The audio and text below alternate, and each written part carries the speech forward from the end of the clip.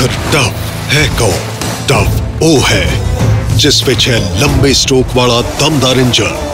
tough ਉਹ ਹੈ ਜਿਹੜਾ ਆਰਾਮ ਨਾਲ ਖਿੱਚੇ ਵੱਡੇ ਤੋਂ ਵੱਡਾ ਅਸਰ ਟਫ ਉਹ ਹੈ ਜਿਹੜਾ ਚੱਲਦਾ ਰਹੇ ਬਿਨਾਂ ਰੁਕੇ ਬਿਨਾਂ ਥੱਕੇ ਅਤੇ ਦੇਵੇ 6 ਸਾਲਾਂ ਦੀ ਵਾਰੰਟੀ ਪੇਸ਼ ਹੈ ਨਵੀਂ Mahindra XP Plus series tough ਹਰ ਦਮ